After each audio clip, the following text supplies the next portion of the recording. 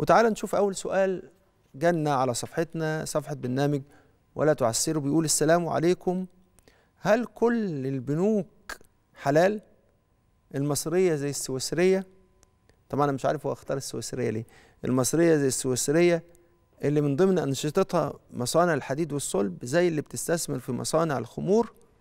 وأعرف إزاي إن البنك ده مقبول شرعا والتاني لأ. سؤال لطيف.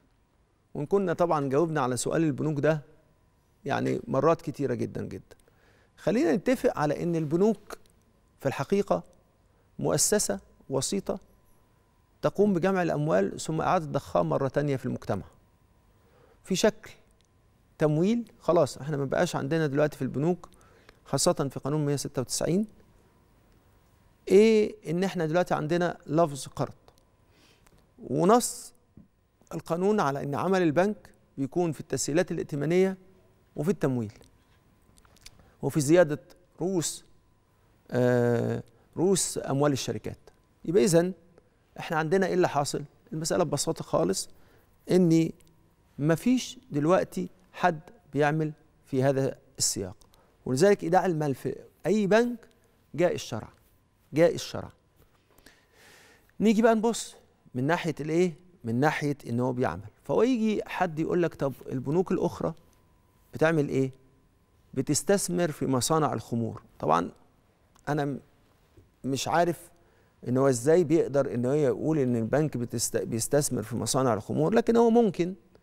يعني ليس هناك مشكلة إن مصنع في سويس إن في بنك في سويسرا في صاحب مصنع من مصانع الخمور أخذ تمويل من البنك ده. أنا لما مولت نشاطات البنك أنا راجل راح أمول نشاطات حلال. حصل إن جم لسيدنا عبد الله بن مسعود وقالوا له جارنا يرابي جارنا يرابي أنا أكل عنده؟ قال لتهنأوا به والإثم عليه. إيه معنى كده؟ إن أنا لما مولت مشروعات البنك أنا ما رحتش أمول مشروعات البنك وقلت له لو سمحت أنا عايز المشروع اللي فيه مصنع الخمرة ده وتخليه كمان من جملة الأشياء اللي أنا بمولها ولذلك إيه اللي حاصل؟ مسألة سهلة ويسيرة إيه اللي حصل؟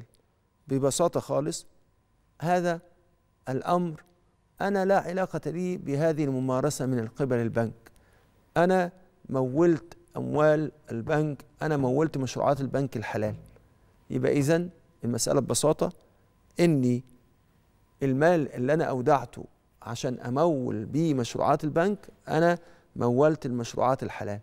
يبقى طب ولو هو مول مشروع حرام آه الإثم عليه.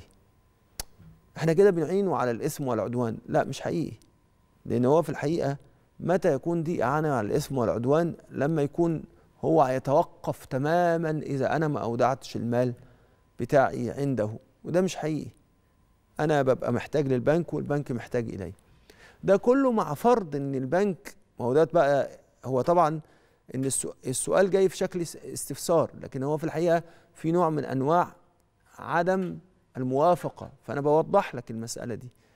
نحن نتشارك في ببساطة خالص في الأعمال الحلال. ولذلك رسول الله لما يكون درعه مرهون عند عند يهودي ورسول الله لما يعامل يعامل المختلفين في الدين وهم بيتعاملوا وخاصة يهود اليهود الذي كانوا في عصر حضرة النبي صلى الله عليه وسلم اللي من أجل معاملتهم الربوية جاء تحريم الربا والأمر ببيع الذهب والفضة يدا بيد مثلا بمثل. فإيه اللي حاصل؟ ومع وجود هذا رسول الله تعامل معه. فلذلك أنا بس بفهمك إيه اللي حاصل بتحليل سيرة رسول الله وسنة رسول الله عشان نقدر نجاوب على السؤال ده. فأنت بتسألني هل كل البنوك إيداع المال فيها حلال؟ نعم. طب ولو في بنك بيعمل إلا إذا كان في بنك نشاطه نشاطه الوحيد إن هو يشتغل في الخمور. يعني البنك ده متخصص في تمويل مصانع الخمر. فإذا كان في بنك وأنا ما أعرفش في بنك في الحياة بيعمل الكلام ده ولا لا. إذا ما كانش البنك متخصص في تمويل مصانع الخمور أو إنشاء مصانع الخمور فيجوز إن أنا إيه اللي حاصل؟ يجوز إن أنا ببساطة إن أنا أدع مالي فيه وإيداعي للمال فيه حلال وإذا كان هو يمارس نشاطا غير جائز فهو يتحمل إثمه.